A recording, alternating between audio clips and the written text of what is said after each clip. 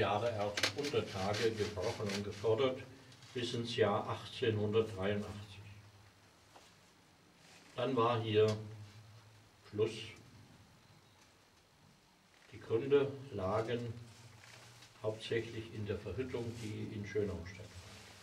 Man hatte hier nur Holzkohle als Verhütungsmittel zur Verfügung und die war dann in der zweiten Hälfte des 19. Jahrhunderts nicht mehr konkurrenzfähig zu Revieren, die schon Steinkohle.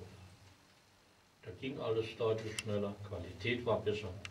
Und deswegen hat dann auch der letzte Besitzer hier, ein Freiherr Ludwig von Dienand, daraus die Konsequenz gezogen und Bergwerk und Hütte stillgelegt.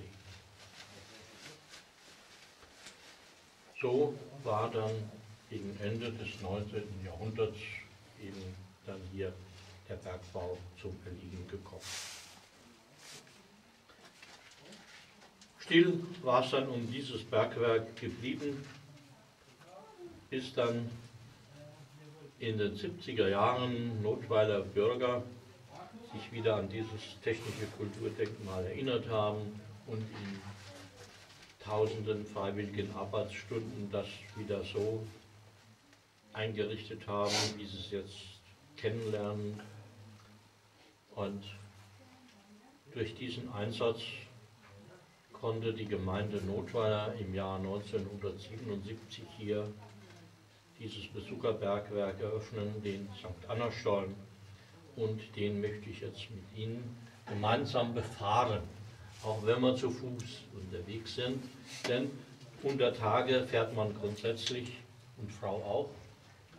Und warum die Bergleute fahren, das klären wir noch auf. Ich zeige Ihnen jetzt mal die Lagerstätten,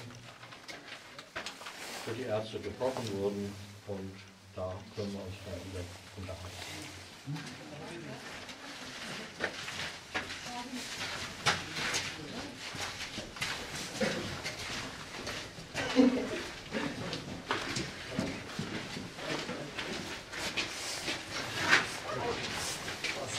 Hallo? Hallo?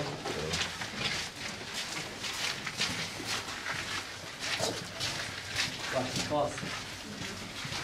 Wir können ja nicht so gut kommen. Die war nicht groß, die Leute. Ja, halt, ja.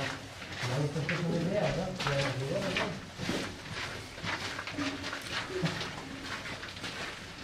Was ist das? Ja.